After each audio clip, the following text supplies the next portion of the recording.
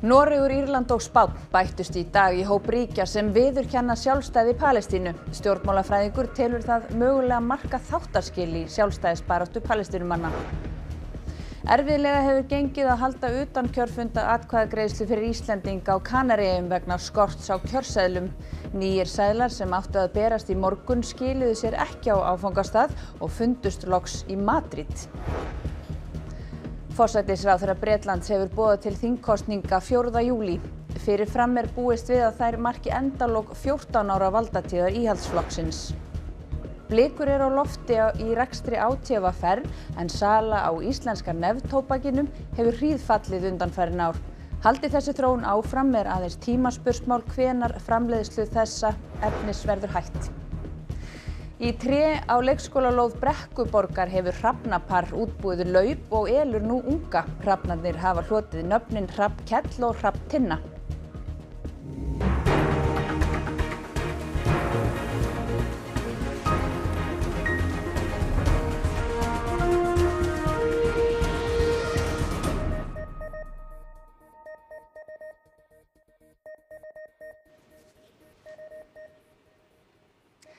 Gott kvöld. Noregur, Írland og Spánn bættust í morgun í hóp ríkja sem viðurkenna sjálfstæði Palestínu. Utaríkisráþara Ísraels hefur kallað sendiherra heim og segir þetta jafngilda stuðningi við árásir Hamas þann 7. oktober. Palestínumenn segja sjálfstæði einu leiðina til friðar í miðausturlöndum. Norge vil med det anse Palestina som en uavhengig, selvstendig stat med alle de rettigheter og plikter som dette innebærer. Den eneste varige løsningen på konflikten i Midtøsten er en reell tostatsløsning. Este reconocimiento no es contra nadie. Tampoco es a favor de Hamas, como dicen los propagandistas del primer ministro Netanyahu y también diputados y diputadas del Partido Popular y de Vox. It is an expression of our view that Palestine holds and should be able to vindicate the full rights of a state, including self-determination, self-governance, territorial integrity and security. Fyrir þessa yfirlýsingu höfðu aðeins tvö ríki Vestur-Európu viður kent sjálfstæði Palestínu, Ísland og Svíþjóð. Nú hafa þrjú bæst við. Viðurkenning ríkjana þryggja tekur gildi 28. mæ.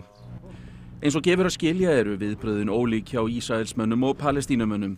Ísraelsmenn bröðust við með því að kalla sendiherra sinni í ríkjunum heim. Utaríkisráðurann byrti myndskeið með aðstandendum gíslana sem eru í haldi Hamas á Gaza. והמסר הוא שמי שתומך במדינה פלסטינית הוא תומך בזוועות שהחמאס עשה ב-7 באוקטובר ותומך באיראן ותומך בכל הציר הרדיקלי שפועל נגד קיומה של מדינת ישראל. These countries stood up to say that the only path to peace and the only path to, to justice and security in this region is by granting the Palestinian people their independence.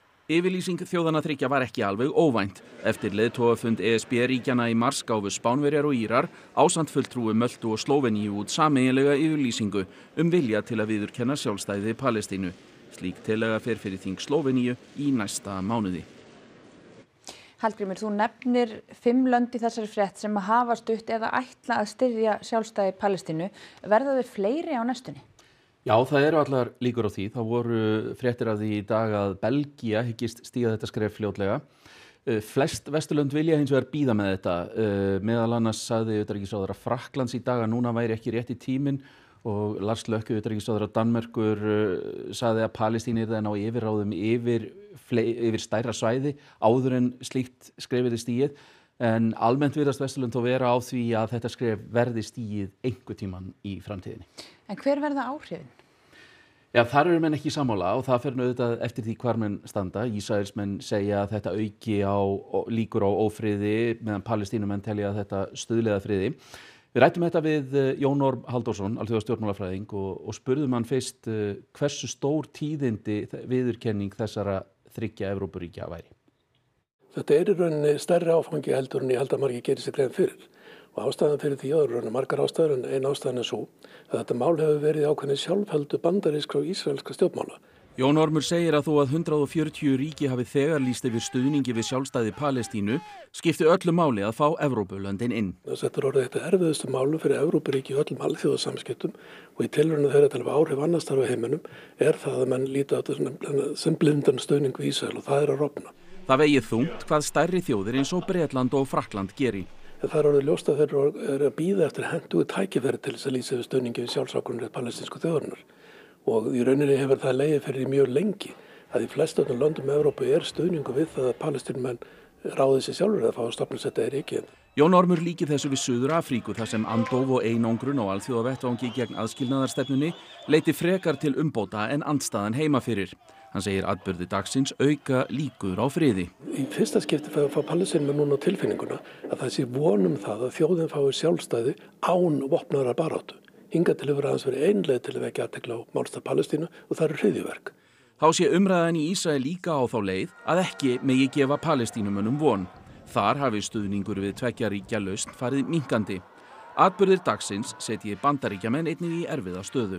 Bandaríska stjórnir lendi sífælt meira erfiðleikum með þetta mál. Mára allstað á alþjóðavetfangi þar sem að eru orðið alveg ljóst á hún eru einangrast og þetta kostar hann stórkostlega áhrif annar stað í heiminum og alls konar mál sem snerta bandaríkinu og skipta miklu máli.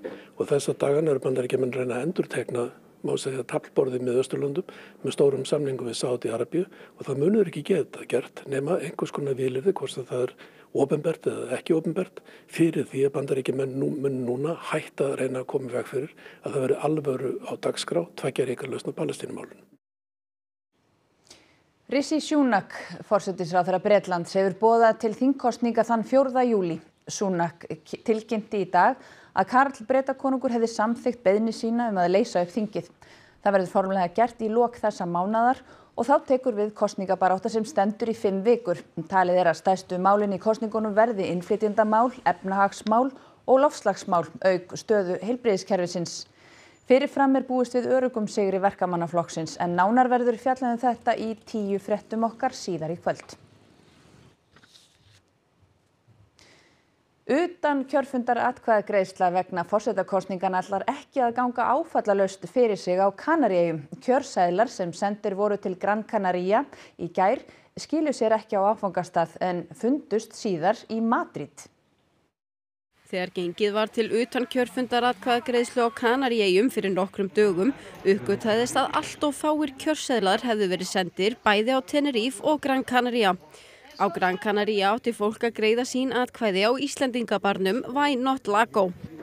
Við náttúrulega vorum bara með allt klátt hérna til þess að gera kostninguna og fólk var að byrja að mæta hérna. Við ætlum að byrja klukkan 11 og af fólki komið þegar að hún kemur, svo sem að kemur í stað konsultsins og er með atkvæðasæðlana og þá kemur í ljós að við hefum bara fengið 15 atkvæðasæðla. Það var náttúrulega alveg strax ljóst frá upphafi að þetta er miklu meiri fjöldi. Fjöldi kjörseðla byggir á mati ræðismanna Íslands.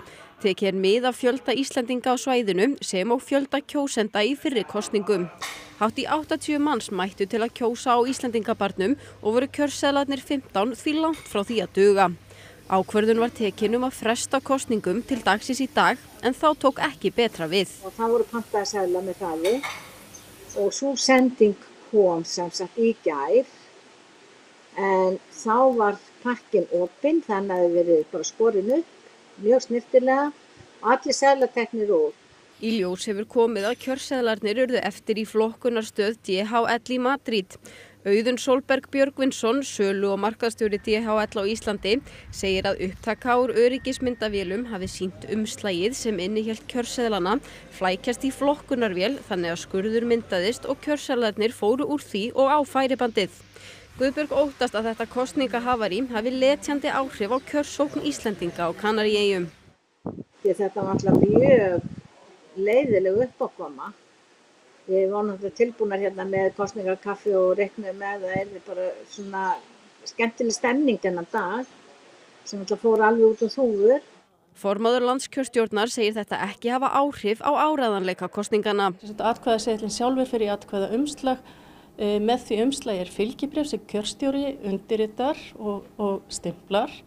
Kjörstjórin heldur líka sérstakar skrá um hver kaus utan kjörfundar, nafn og kennitul og heimilsvang, hvar hann kaus og hvenar hann kaus. Þannig að þarna er alveg, alveg tvöfalt öryggi og bara svo að það komi skýrt fram að þá eru við utan kjörfundakostningar eru notaðir önnur kjörgögn heldur en síðan eru notað á kjörda. Þannig að þetta er ekki eins og það hefur horfið atkvæðaseðil sem lítur eins út eða eins formi og atkvæðaseðil sem verður notaðir við fórsetakjöri 1. júni næstkomandi. Um hundrað slökkulismenn börðust við eld í skrifstofubyggingu livjafyrirtækisins Novo Nordisk í Bergsvegg skamt utan Kaupmannahafnar í dag. Eldurinn breyttist hratt út og mikinn reik lagði frá byggingunni. Fljótt gekk að koma starfsfólki út og engan sakaði. Eldurinn kom fyrst upp í gámi á byggingarsvæðu og tegði sig þaðan í skrifstofubygginguna.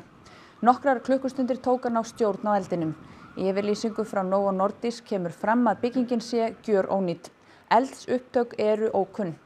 Í síðustu viku kviknaði eldur á byggingarsvæði á vegum Novo Nordisk í Kalundbó, vestast á Sjálandi. Saga íslenska neftóbaksins gæti senn verið á enda. Sala hefur dreigist hratt saman eftir að nikotín púðar koma á markað. Framleiðslan er nokkuð einföld og uppskriftin hefur verið svo sama frá upphafi. Hér í þessu litla rým upp á Stuðlahálsi hefur nefntóbak verið framleitt í nokkra ára tugi. Nú íhugar átífa verð hins vegar að hætta framleiðslu þess að sem sala hefur dreyist verulega saman síðustu ár. En hvernig er nefntóbak framleitt? Hér í þessum sekk erum við með tóbak blandað í nikotín. Við byrjum á að vikta það, hérna á þessari stóru vikt. Við það blöndu við svo smá saltvatni, heilri flösku af ammoniaki og smá kranavatni. Þetta er svo allt sett saman hérna í þessa hrærivél og látið matla í nokkra klukkustundir. Tóbakið er svo geimt í þessum tunnum í 7-8 mánuði. Þá er það malað og því pakkað og þá er nefntóbakið tilbúið. Framleiðsla nefntóbaks hófst hér á landi árið 1941. Helstu neytendur voru eldri menn sem tóku tóbakið í nefið. Salan jógst hratt eftir hrun en þá fóru yngri menn í auknu mæli að nota það sem mundtóbak. Salan áði hámarki árið 2019 þegar um 46 tonn seldust. Á síðast ári var salan komið niður í 10 tonn. Það sem við teljum að sé ástæðan fyrir þessari mingunni nefntóbakinu er í rauninni tilkoma eh, nikotinbúða á stórum hluta og þess vegna sjáum við ekkert fram á að það skapist endilega nýtt jafnvægi heldur munið þetta bara halda áfram. Nikotínpúðarnir eru töluvert ódýrari. Dollan kostar í kringum 700 krónur en íslenska nefntóbakið um 4000 krónur. Sveit segir grundvallar munin vera að nefntóbak ber skatt en ekki púðarnir. Ef að þetta heldur áfram með þessum hætti það náttúrulega kemur að því að flækjustu við framleysluna stendur ekki undir því að vera, vera að halda þess úti og einhverju munu sjá eftir því og aðrir ekki. Matvælastofnun hefur sendt matvælaráðuneytinu eftirlit skýslu um kvalveðar. Skýslan fjallar um veðar kvals HF síðsumars í fyrra. Hún verður hluti þeirra gagna sem matvælaráð þeirra notar til að ákveða hvort kvalveðar verði heimilaðar í sumar. Kvalur sóttum veiðileifi í janúar og veiðarættu að hefjast í júni. Samkvæmt upplýsingum frá matvælaráðuneytinu er búist við ákverðun ráð þeirra fljótlega. Forseti Íslands á að skipa ríkisstjórn og ríkisráð að loknum kostningum. Þetta segir Eiríkur Ingi Jóhansson, forsetaframbjöðandi, í forustu sætinum sem er á dagskrá eftir Kastljós. Hann segir að stjórnarmyndun stærstu flokkana að loknum kostningum byggja á hefð en stjórnarskráin bjóði að forsetin skipi í embættin. Eiríkur Ingi myndi í embætti forseta sjá til þess að faglega yrði raðað í ríkisráð og ríkistjórn. Það er náttúrulega þannig og kemur nýja vinnustaf þá byrjar ekki að snúa allir á kolf og verður að fá svona tilfinningu við hlutum og þegar kemur að því eins og ég sem ég langaði að sjá þetta í framtíðinu þá væri það að fórsetin eins og í þessu tilvæg myndi ég líklega bara ganga að sem sagt að byrja þingmenn um að leggja niður tilvögur, þingmenn, ekki flokka og sér sér bara trúnaðar millir mín og þeirra hverju þeir stingu upp á í, í, í ráðneitin og, og skoða það gömgæðilega og síðan leita meðal almennings og finna út hverjir eru hæfastir í þessu störf og, og, og náttúrulega nummer 1 og 3 að finna fólk sem getur starfað vel saman. 20 mann sem voru í vél Singapore Airlines sem lendi í slemri ókyrð á leið frá Lundunum til Singapore eru á gjörgjæslu deild tveggja sjúkrahúsa í Bangkok í Tælandi. Í yfirlýsingu frá spítulunum er tilgreint frá hvaða löndum þessi sjúklingar eru. Ísland er ekki talið upp og samkvæmt því er Íslendingurinn sem var um borði í vélinni ekki á gjörgjæslu deild. Samkvæmt upplýsingum frá kjörræðismanni Íslands í Bangkok mun Íslendingurinn hafa verið fluttur á sjúkrahús. Samtals voru 85 af þeim 104 sem slösuðust fluttir á sjúkrahús í Bangkok. Borgaraþjónustu auðaríkisráðuneytisins veitir ekki upplýsingar að svo stöddu. Á næstu tveimur til þremur árum er stemt að byggja samtals 12.000 fermetra við verknámsskóla um all land, auk nýra höfuðstöðva tækniskólans. Menta og barnamálar á þeirra segir markmiðið að greiða leið allra þeirra sem vilja fara í starfs- og verknám. Fyrir helgi var undirritað samningu ríkis og sex sveitafélaga við Eyjafjörð um 1500 fermetra viðbyggingu við verkmyndaskólan á Akureyri. Samningurinn staðfesti fjármögnun verkefnisins og samkómulega um að ríkissjóður greiði 60% kostnaðar og sveitafélagin 40%. Skólameistarinn segir lengi hafa leigið fyrir að bæta þyrti aðstöðu fyrir verklegt nám í skólanum. Með breyttum tímum og breyttum áherslum þá bara breytist líka þarfir þess húsnæði sem að skólinn hefur. Þannig að þetta er líka liður í því að geta haldið áfram að bjóða upp á öflugt og, og fjölbött eh, námsframbóð og geta tekið við fleiri nefndum. Menta og barnamálar á þeirra segir að á næstu tveimur til þremur árum verði mikla byggingaframkvæmdir við verknámsskóla um næra allt land. Við erum þegar búin að starta sambarilegurum, búið að tryggja fjármögnun sambarilegra viðbygginga við þrjá aðra verknámsskóla. Þetta er sá fjórði núna í þessum fasa. Síðan reiknum við með viðbyggingu bygging á nýjum tækniskóla og svo á næsta ári sjáum við annan eins skamt fara af stað. Aukin áhuga á verk og starfsnámi sé afrakstur vinnu sem hóst á síðasta kjörtímabili milli stjórnvalda, atvinnulífs og skóla. Nú séu hundru nefnda á bygglista eftir að komast í þetta nám. Og nú erum við svona í setni fasa þessa verkefnis, það er að, uh, það er að ná að mæta þessar eftirspurn og þar er stærsti hlutin er húsnæðiskortur skólana og tækja, tækjabúnaðaskortur og þar erum við að mæta með þessum viðbyggingum. Á leikskólanum Brekkuborg í Grafarvogi hefur Hrafnapar gert sig heimakomið. Krakkar og starfsfólk fagna komur hrafnana og hefur leikskólastarfið að miklu leiti mótast út frá veru þeirra í gardinu.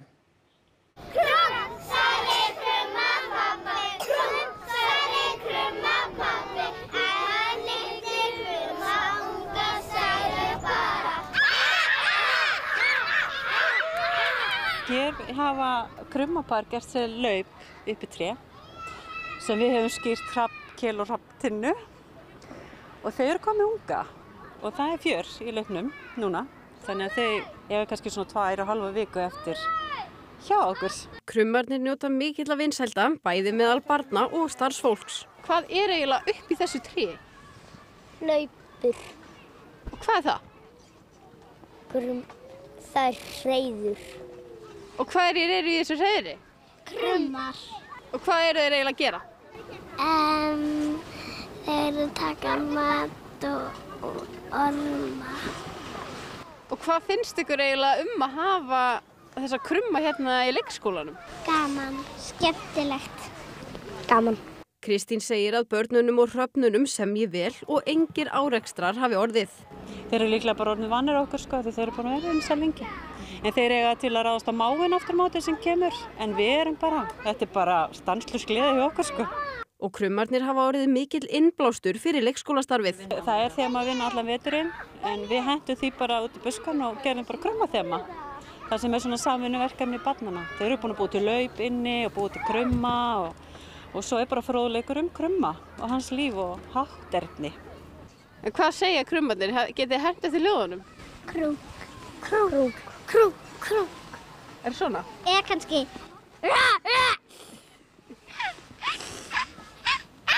Alls ekki svona. Ekki svona? Besti, hvað ætlaði að bauða upp á í Kastlúsi í kvöld? Við ætlum að fjalla um Ísrael og Palestínu en saksóknari við alþjóða sakamála domstólinn hann hefur gefið út, uh, hefur farið fram á að handtökuskipum verið gefið út á hendur uh, leiðtúum Hamas og Ísrael. Bandarækjumenn hafa bröðist ókvæða við en á sama tíma þá eru Evrópuríki nokkur að tilkynna þau ætla að viðkennast uh, Palestínu sem sjálfstætt ríki. Við ætlum að fara yfir pólitísk og lögfræðilega álutamáli í þessum uh, efnum með þeim Þórtissi Ingadóttir, hún er prófessor við uh, lagadelt Háskólans í Reykjavík og Silju Báru Ómarsdóttir, prófessor í stjórnmálafræði við Háskólan á Háskóla Íslands. Svo í lók þáttar á ætlum að taka stöðun á rapsinunni á Akureyri. Takk fyrir þetta. Og veðrið það verður með róleira móti í fyrramálið og þurftan mestu á landinu en síðdeis þá munir skil ganga inn á vestanvert landið og eru þau forbóði hlýra loftmassa sem að mun umleikja landið á næstu dögum. Þörstudagurinn verður þó fremur kvimleiður með slagveðusrygningu víða um landið vestanvert. En það verður Teodor Freyr Hervarsson viðfræðingur sem fer yfir horfur næstu dagaloknum íþróttafréttum sem Helga Margret Hörskullsdóttir sér um í kvöld. Landsliðshópur íslenska karlalandsliðsins í fótbolta fyrir tvo æfingarleiki gegn Englandi og Hollandi í júni var tilkynntur í dag. Albert Guðmundsson er ekki í hópnum. Davíð Snorri Jónasson er nýr aðstofþjálfari liðsins en KSI tilkynnti það sömuleiðis í dag. Hann tekur við starfinu af Jóhannesi Karli Guðjónssoni. Landsliðskonan Elísa Eliasdóttir hefur samið meistraliði Vals í handbolta til næstu þryggja ára. Hún kemur til Vals frá IBVF. Ekki missa íþróttum hér eftir fréttir. Og aðru kveðum ykkur skulle vera ennið það sem var helst í þessum fréttatíma. Noregur, Írland og Spák bættust í dag í hóp ríkja sem viðurkenna sjálfstæði Palestínu. Stjórnmálafræðingur telur það mögulega marka þáttaskil í sjálfstæðisbaráttu í Palestínumanna. Erfilega hefur gengið að halda utan kjörfunda atkvæða greiðslu fyrir Íslendinga á Kanaríum vegna skorts á kjörsælum. Nýjir sælar sem áttu að berast í morgun skiluðu sér ekki á affangastað og fundust loks í Madrid. Fórsetisráðara Bretlands hefur bóðað til þingkostninga 4. júli. Áfram er búist við, fyrirfram er búist við að þær marki endalók 14 ára valdatíðar íhaldsflokksins. Blikur er á lofti í rekstri átjáfa ferr en sala á íslenska nefntópakinu hefur hríðfallið undanferðin ár. Haldi þessi þróun áfram er aðeins tímaspursmál hvenar framleiðslu þess verður hætt. Og í tre Á leikskólalóð Brekkuborgar hefur hrafnapar útbúið laup og elur núnga. Hrafnarnir hafa hlotið nöfnin Hrafnkell og Hrafntinna. Næstu fréttir verða í sjónvarpi og útvarpi klukkan 10 kvöld og vefnum okkar rúf.is má nálgast allar nýjustu fréttirnar á íslensku, ennsku og pólsku en þessum fréttatíma er lokið, hafið það gott og verðið sæl.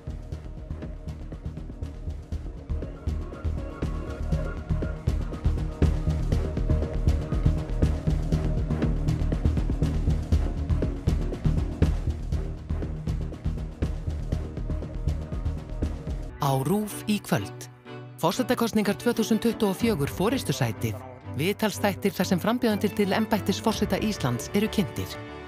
Sænsk tíska. Sænskir heimildatætti frá 2022 þar sem farið er yfir tískusögu svíþjóðar frá 1960 til dagsins í dag. Höllin. Þískir dramaþættur um dansara í leikúsi í Austur Berlín árið 1988 þegar hún kemst óvænt að því að hún á tvíburasistur í Vestur Þískalandi vakna ímsa spurningar. Konur í kvikmyndagerð. Breskir heimildathætti frá 2020 um kvikmyndir þar sem engungu er stuðst við dæmi úr kvikmyndum sem konur leikstýra.